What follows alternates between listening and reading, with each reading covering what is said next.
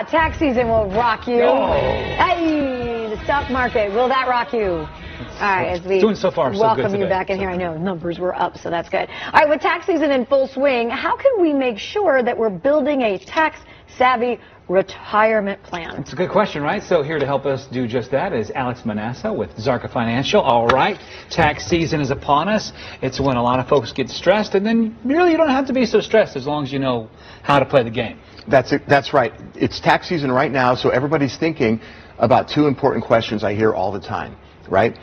How much should you be saving? How much? And then For tax your retirement? for your retirement. Okay. Yes. And then tax-wise, where should you put the money? How much should, should they be putting away? And where should I put it? So uh, I'm gonna I'm gonna ask the two of you. Ask us. What do you think the average person, as far as a percentage of their income, how much should you be saving? And I, I'm sure it all depends on your age. So if you're in your 20s, it should be higher. Right. 30s, a little bit, still high. And then the older you get, a little bit less. Right. That's so right. let's say I'm uh, 48. I should be saving What percent? Just a gen- just crazy guess. if, if almost 50, I'm guessing 10 to 20 percent.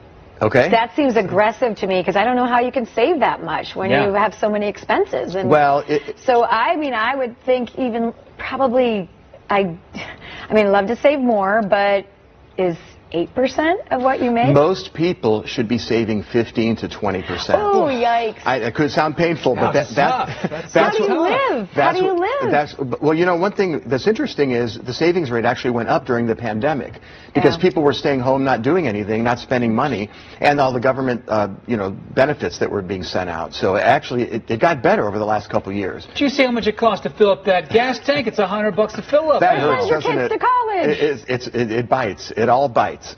Uh, so the Okay, next, let's say let's say you're in your 40s and Yeah. you can get to that 15% savings threshold. yes.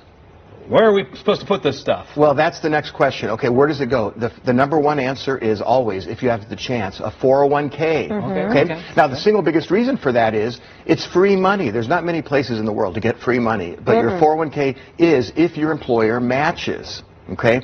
Everyone should know how much your employer matches your 401k. Do the two of you happen to know? You don't have to say, but do you happen to know?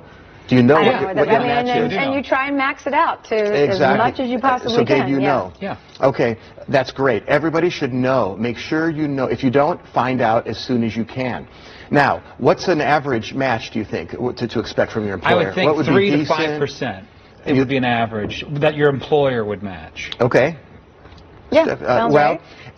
What I see is anything 6% or better is good. Wow. Okay, so if your employer matches six percent or better, believe it or not, you're uh, they're That's really good. Yeah. They're doing pretty well by, by today's standards. Mm-hmm. Okay, so at least put enough in to get the employer match because that's free Yeah, money that you're just leaving is. on the table. Mm-hmm. Okay, And check it. I'd always thought I was in it, and for a couple of years I wasn't. Didn't realize that I wasn't getting as high as I possibly could. Mm-hmm. And yeah, that's a lot of missed opportunity of money.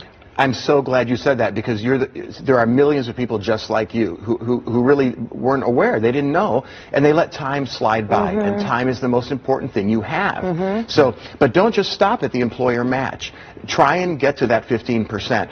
And you know, I'll tell you, I, we know this from experience. Once it's off the top, you don't miss it as much as you think. Yeah. You're Your right. spending If you habits. never had it, Right. That's right. if it's going out with your health care and everything else, so you don't really. You don't need miss it as much. What about a lot of folks who are independent contractors who might not have the luxury of being uh, able to take advantage Okay. of a 401k? After the What 401k, then? on the decision tree, next comes your IRA, Mm-hmm. a traditional IRA. You can put in up to $6,000 a year and another 1000 if you're 50 or older. So and that's Can a great tax both? deduction. You can. You, Okay. you can do both. And not only that, don't forget your spouse. If you have a spouse, you, you can put in for their IRA as well. That's a big tax deduction right off the top of your taxes. Mm. So that's a really good place. That's a really good place to go. Um, and then there's another thing you have to look out for, though. You may not be able to take that IRA deduction. It depends on your income. There are income limits. Mm. Okay, if you make more than about 120,000 uh, single, you're, you're going to not be able to deduct your IRA. Okay, for married filing jointly, it's, it's around 200 grand. So if you make more than that, you can't deduct your IRA. Then what you should do is option number three, a great option, Roth IRA. Then you look at your mm. Roth IRA. So that's the way the, the decision tree goes. Okay.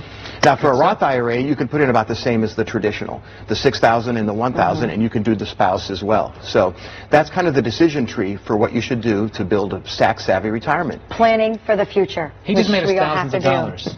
I feel richer now, just knowing the But, information. well, he told us the info. We actually have to do it and Right. log on and ch- make changes Right. if you have to. Thank but make sure, Alex. yeah, you're maxed out with that. Good All stuff. good stuff. Yes. So if you have uh, more questions, need more information on Szarka Financial Services, the number is right there. We also have it on our website. Visit that today at fox8.com. Click on Scene on TV. Always a pleasure. Alex Menassa. Good seeing you both. Thank you. Good Yeah, to see it's- you. it's great.